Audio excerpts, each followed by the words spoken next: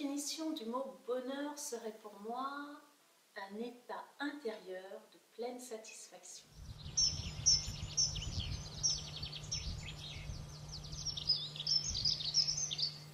Par exemple, écouter une conversation entre plusieurs oiseaux, me retrouver sur, euh, sur un rocher et, euh, et regarder au loin l'étendue de l'océan, si possible euh, le soleil des Antilles.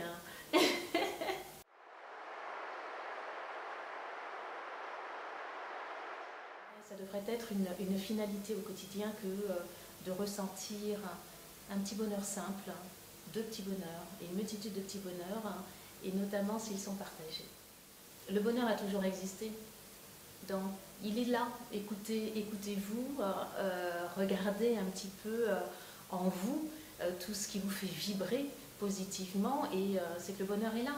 Donc n'allez pas chercher sur, dans une émission quelconque, dans, dans, un journal, dans un livre qui est vendu à des milliers d'exemplaires, il est en vous.